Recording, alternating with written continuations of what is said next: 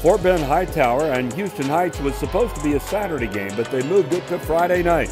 Heights got to play at their home stadium, Delmar, and got off to a good start as Allen Rainey throws a short 15-yard touchdown pass to Kevon Misher, 7-0 Bulldogs. The Hurricanes would go on a run, though. Joseph Stewart keeps it himself, heads up the middle for a 12-yard touchdown run. Hightower up 15 to 7 in the second.